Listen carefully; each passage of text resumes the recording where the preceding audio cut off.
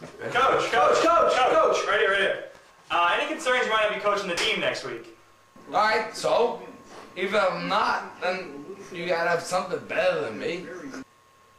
Uh, actually, this guy's a pretty good coach over here.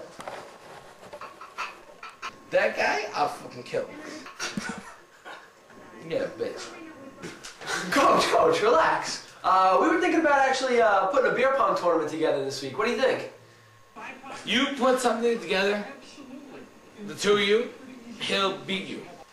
Uh, coach, you sure you're not lying? I mean, you bailed on us last week. I'm not lying. Frost Brew Coors Light, official beer sponsor of the NFL. Coach, coach, coach. What do you think about wearing these hats next week to rally up the players? Oh, you're an idiot. Yeah.